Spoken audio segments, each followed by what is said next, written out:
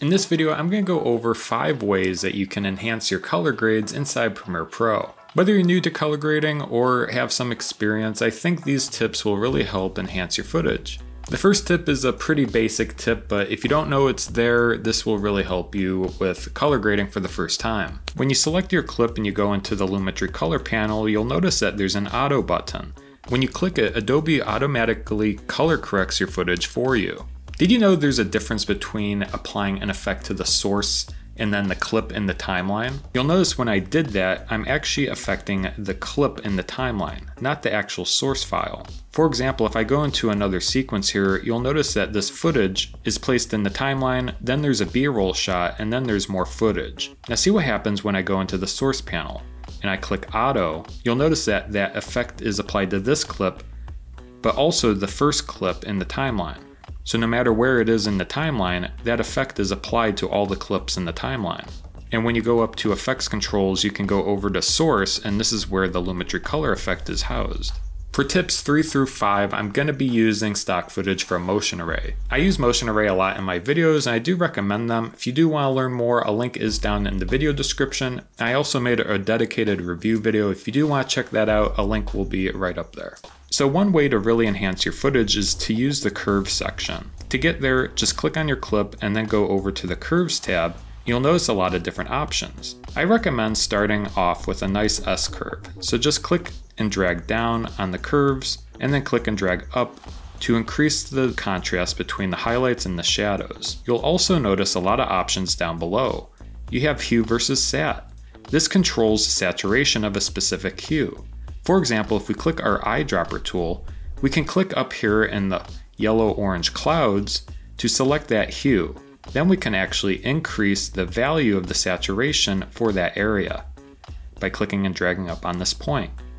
You can also expand the selection by clicking and dragging these other points here to increase the saturation range for this specific hue. Not only can you increase the saturation, you can decrease it. For example, if I grab my eyedropper tool and select these blue clouds over here, I can decrease the saturation of that area of the screen. You'll also notice that there's a hue versus hue section.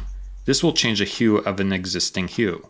For example, if I wanted to make these yellow clouds maybe a little more orange or golden, I can select it, and when I click and drag, you'll notice that you have a hue line here. You'll notice that the clouds actually change to magenta. So you don't need to go that far, probably just a little bit to make it more orange. And then lastly here, you'll notice that there's a hue versus luma section. You can change the luminosity of a certain hue. When you click the eyedropper tool and click in the orange sky here, we can make it a little bit brighter by increasing it. I wouldn't go too far though, this is pretty sensitive. If we click on the clouds and click and drag down, we can make that part a little darker. By creating contrast in the colors in the different hues, we can create a pretty cinematic look. You can see the before and after when I toggle on and off the effect.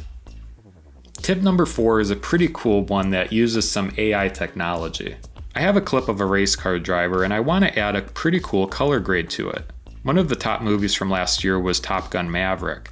What if I wanted to copy the color grade from this clip? You can easily make a screenshot on your computer, click and drag it into your timeline as an image, and copy the grade from that image. To do that, in the timeline, click on the clip that you want to apply the grade to, and then in the Lumetri color panel, the section you want to go to is Color Wheels and Match. First, click on the Comparison View button. This will bring up two windows.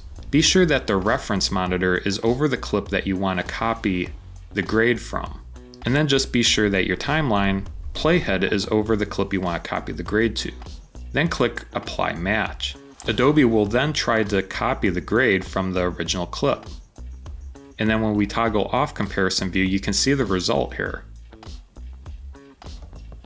Now this isn't going to be perfect all the time, it's just there to kind of give you a baseline where you can improve from there. The next tip is very helpful and I use this all the time in my color grading. Say we have this image here of a jogger jogging looking at the camera. We want to brighten up her face without increasing the brightness of the background. To use this, you can create masks on the Lumetri color effect. So for example here, if we go to the beginning of our timeline, click on the clip, go into basic color correction, we can increase the exposure just to get her face more illuminated.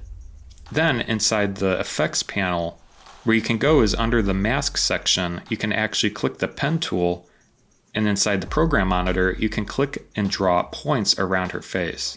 Then once we complete the mask, you'll notice that we have a mask on the effect that brightens it quite a bit. Now we have some controls over here, we can feather it out quite a bit.